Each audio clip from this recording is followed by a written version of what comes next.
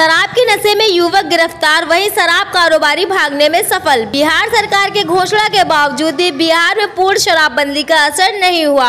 हम बात कर रहे हैं खगड़िया बेलदौर की, जहाँ शराबी और शराब कारोबारी फल फूल रहे हैं। देसी व विदेशी शराब कई बार पकड़ी, तब भी शराब कारोबारी जहरीली देशी शराब बेचने में बाज नहीं आते। वहीं बेलदौर थाना क्षेत्र के स्थानीय पंचायत ग्राम कचहरी रोड में पुलिस की गाड़ी देख शराब कारोबारी साइकिल पर लदे शराब की बोरी छोड़कर फरार हो गया।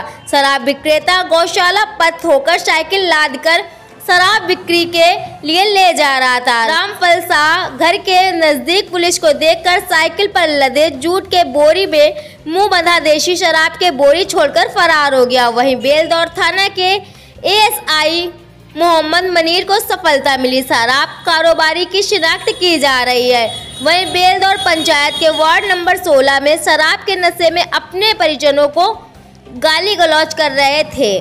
वहीं उक्त शराबी के परिजन महादेव सरवा ने अपने 30 वर्षीय पुत्र जितेंद्र कुमार के विरुद्ध पिता ने बेलदौर थाना को आवेदन दिए। पिता के आवेदन पर बेलदौर पुलिस ने शराब के नशे में युवक को गिरफ़्तार कर थाना लाए।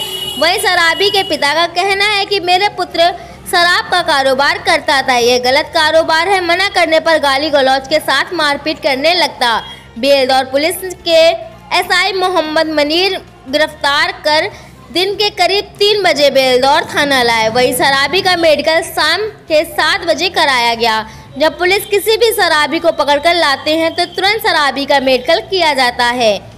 करीब चार घंटे के बाद शराबी का मेडिकल कराया गया। इसके पीछे क्या कारण था, कई मोटी रकम लेकर छोड़ने का? पुलिस प्रशासन बाइक देने से इनकार कर दिया। बिहार से अमित कुमार की खास